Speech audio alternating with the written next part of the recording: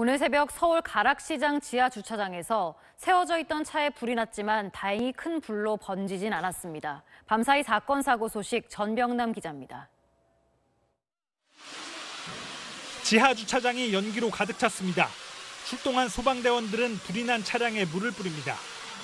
오늘 새벽 2시쯤 서울 송파구 가락몰 지하 주차장에 세워져 있던 승합차에서 불이 났습니다.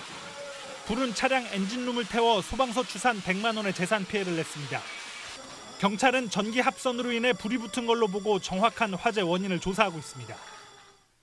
어제 저녁 6시쯤 부산광역시 기장군의 원룸 건물에서 한 남성이 옥상 문을 잠그고 난동을 부린다는 신고가 접수됐습니다.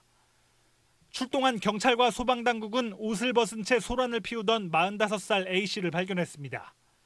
경찰은 A씨가 정신질환을 앓고 있는 것으로 보고 근처 병원으로 A씨를 옮겼습니다. 어젯밤 9시쯤엔 코카콜라 광주 공장에서 농성 중이던 화물연대 노조원과 경찰 간의 몸싸움이 벌어졌습니다. 이 사건으로 경찰관 3명과 화물연대 소속 노조원 등 8명이 다쳤습니다.